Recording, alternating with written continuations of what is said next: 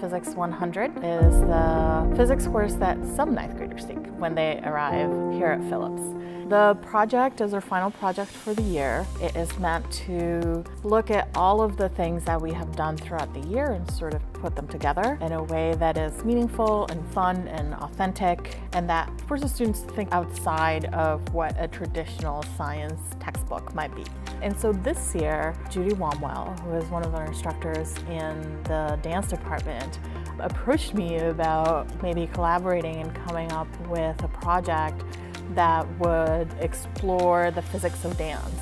So I was asking myself if I could use movement to, to deepen or foster better learning uh, objectives of other disciplines. So the question for me is not how can I illustrate uh, physical properties through dance or use dance to have them analyze physical properties, but more can I improve the learning outcomes for Carol's classes through these exercises of movement. We began uh, the unit by learning about the components of potential and kinetic energy and where we see those just in the natural world. And then we translated that into like movements, like human movements that we do every day.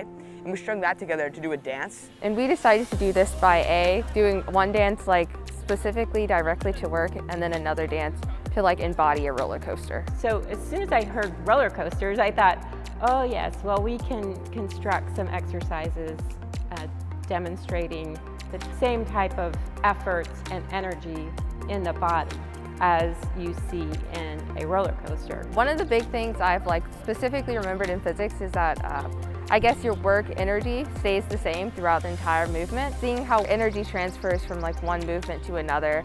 Like if you're standing up, you have, you know, maximum potential energy and then if you go down to the floor, it's all kinetic now because you have zero potential energy. So just seeing the transfer has been really helpful. Since we learned like uh, potential and kinetic energy prior to the dancing, I, I kind of had it in my mind. Like it, it, was very interesting to see like different things going about my day and be like, oh, there's kinetic energy there, or like seeing something fall and like, oh, the potential energy is decreasing there. Science and dance, you don't usually think of those two together, but that's part of the, like, the Andover experience, kind of putting two things that normally wouldn't go together together. As a dancer, I definitely know that I take in information through moving. As teachers, we deliver our information in a variety of ways to capture as many different learning styles as possible.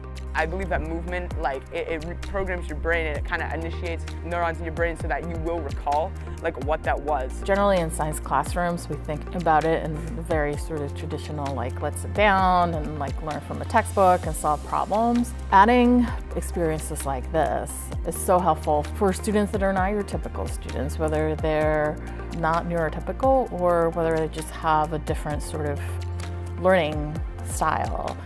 It, it broadens what physics and what science can be. And for the first time, they're seeing themselves as scientists.